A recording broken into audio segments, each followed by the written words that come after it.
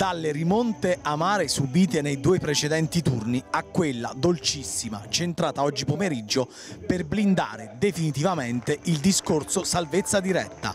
Nel trentesimo turno d'eccellenza, con quattro giornate d'anticipo, la Virtus Cupello ha tagliato il traguardo rimontando tra le mura amiche la Renato Curi angolana, ormai lontana dai playoff. Al vantaggio di Ciarcelluti ha risposto Tafili per il pari e Pedalino a blindare il definitivo 2 a 1. Con le immagini curate da Edoardo Daddario passiamo alla cronaca del match. Il primo squillo è ospite, dopo un minuto botta violenta di Capitan Farias a sfiorare l'incrocio. Al decimo il tiro cross di Ucci è pericoloso, Di Giacomo si salva come può.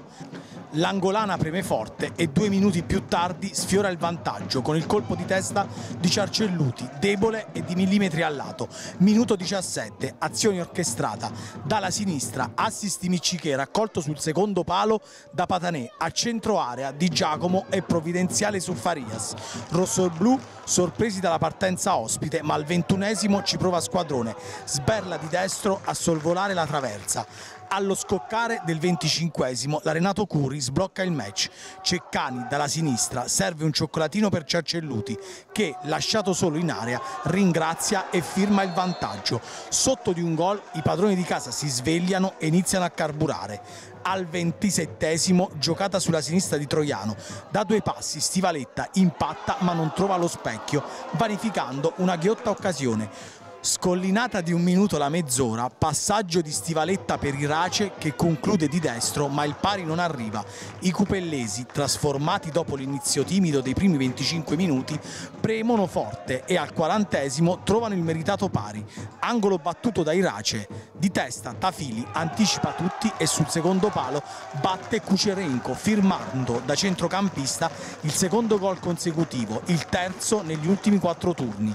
Sulle ali dell'entusiasmo i cupellesi cercano la via del pari per completare la rimonta già nel primo tempo. Al 43esimo, splendida percussione solitaria di Stivaletta che penetra in area e va a terra.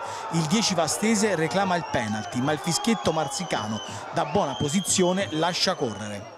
Al rientro degli spogliatoi, dopo due minuti, Pedalino si mette in proprio, slalom gigante d'applausi, ne salta un paio, elude anche Kucerenko, ma calcia al lato da posizione complicata. È il prodromo del gol che arriva 5 minuti più tardi.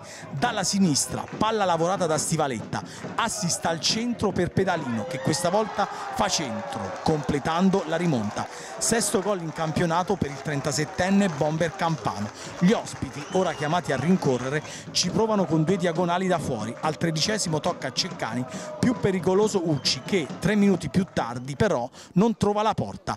Nella mezz'ora finale ben poco da raccontare, al triplice fischio la festa è tutta della Virtus Cupello che con il 2-1 finale abbraccia la salvezza diretta toccando quota 41 punti.